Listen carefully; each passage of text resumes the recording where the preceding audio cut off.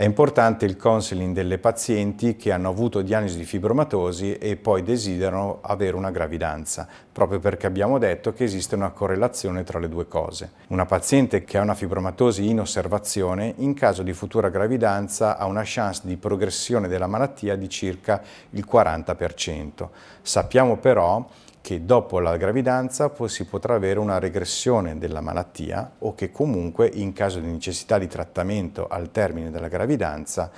questo può essere fatto in maniera sicura in più del 90% dei casi. È importante dire che non vi è un rischio ostetrico per il feto e per la madre se si ha una, una gravidanza in corso di fibromatosi. Dal momento che eh, negli ultimi anni si è sempre più eh, favorito una, eh, una politica di diciamo, osservazione per i desmoidi, soprattutto appunto in quelli che hanno una prognosi più, più, favorevole, noi ci troviamo spesso a dover eh, consigliare le pazienti rispetto al desiderio di un'eventuale eh, gravidanza dopo la diagnosi di desmoide oppure al desiderio di una ulteriore gravidanza eh, dopo la diagnosi di un desmoide eh, correlato ad una precedente. Allora questa è una condizione eh, differente ma altrettanto i dati che abbiamo raccolto, che sono anche stati analizzati in una serie di più di 100 pazienti eh, ehm, trattate presso quattro centri in Nord America e in Europa, ha mostrato che eh, la gravidanza dopo una precedente diagnosi di desmoide può essere condotta a termine diciamo, in maniera molto eh, sicura sia per la madre che per il feto. In, vale a dire in tutti questi eh, 100 casi non si è osservato nessun, eh, diciamo, nessun danno per il nascituro e nessun danno per la madre. Eh, certamente la eh, l'insorgere della gravidanza e quindi il mutamento dello stato ormonale eh, della paziente eh, porta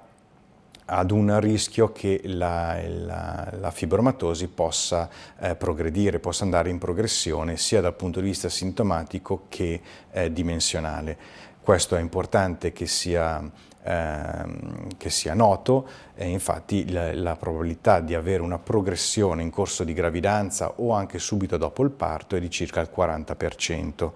Eh, anche il periodo dell'allattamento in realtà va, va, considerato in questo, in questo um, intervallo perché durante l'allattamento lo stato ormonale rimane comunque simile a quello della gravidanza. Che cosa succede se una uh, fibromatosi inizia a crescere o diventa sintomatica in corso di gravidanza? Quello che noi eh, di solito consigliamo è ovviamente un monitoraggio più ravvicinato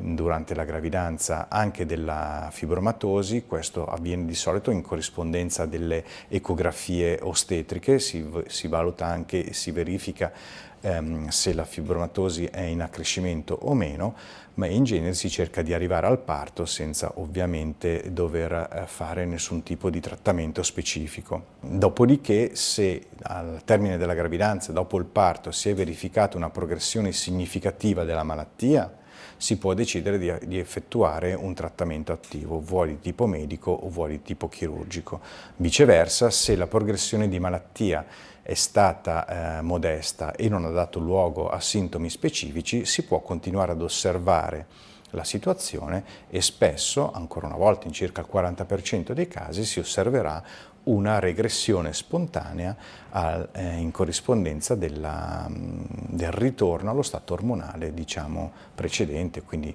eh, normale e non eh, corrispondente a quello della gravidanza. È importante dire eh, che eh, è, è, giusto che il centro di riferimento che segue le pazienti con, fibroma, con, fibromatosi abbia anche un collegamento con il ginecologo di fiducia in modo da eh, discutere ehm, tutte le possibili criticità da affrontare in corrispondenza del parto o comunque della gravidanza stessa. Abbiamo già parlato della sorveglianza, eh, se poi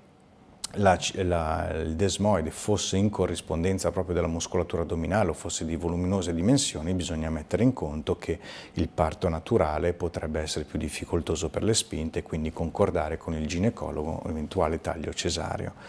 Un'altra cosa di cui le pazienti devono essere eh, informate, se per esempio trattate in passato per una gravidanza della parete addominale che ha richiesto una ricostruzione della parete con rete e che in caso di gravidanza parto, vuoi naturale, vuoi cesareo, proprio per diciamo, la distensione della parete addominale che avviene in gravidanza, a posteriori la eh, vecchia cicatrice, la vecchia ricostruzione su rete potrebbe dare luogo a un rilassamento, quindi a un'ernia incisionale. Si tratta ovviamente di una cosa che se necessario può essere corretta, ma fa parte delle informazioni eh, da considerare.